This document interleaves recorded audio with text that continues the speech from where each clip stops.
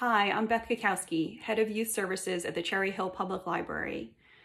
April is National Poetry Month, so my cat Pearl and I are here to share with you one of our favorite poems, which is a Shel Silverstein poem from Where the Sidewalk Ends.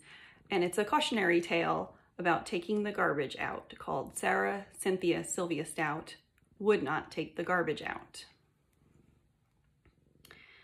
Sarah Cynthia Sylvia Stout would not take the garbage out. She'd scour the pots and scrape the pans, candy the yams and spice the hams, and though her daddy would scream and shout, she simply would not take the garbage out.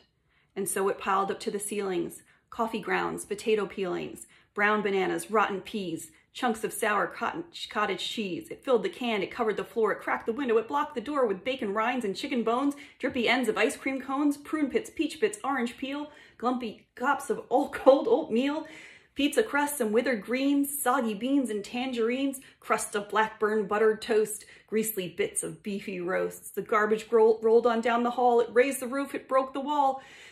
Greasy napkins, cookie crumbs, globs of gooey bubblegum, cellophane from green bologna, rubbery blubbery macaroni, peanut butter caked and dry, curdled milk and crusts of pie, moldy melons, dried up mustard, eggshells mixed with lemon custard, cold french fries and rancid meat, yellow lumps of cream of wheat.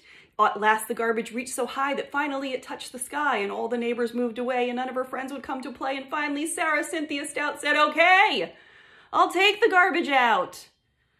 But then of course it was too late. The garbage reached across the state, from New York to the Golden Gate, and there in the garbage she did hate, poor Sarah met an awful fate that I cannot right now relate because the hour is much too late, but her children, remember Sarah Cynthia Stout, and always take the garbage out.